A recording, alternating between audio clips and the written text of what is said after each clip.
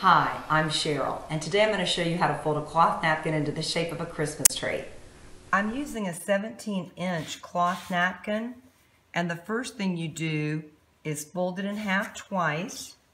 Then you pull up the four tails so that they're a little less than an inch apart from each other.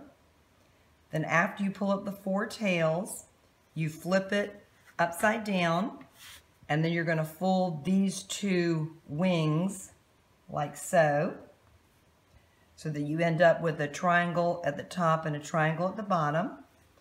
Then you flip it over again. This is where I put it on a plate so that after you pull up the tails and tuck them under each other, you can perfect it without having to move it again.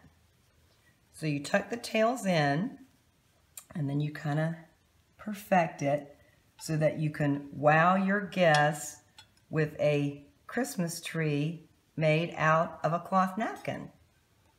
And then if you want to learn how to make this rose out of a cloth napkin, I've included the link to the tutorial in the description below. And that's my two cents worth. If you enjoyed this video, be sure to subscribe to my channel.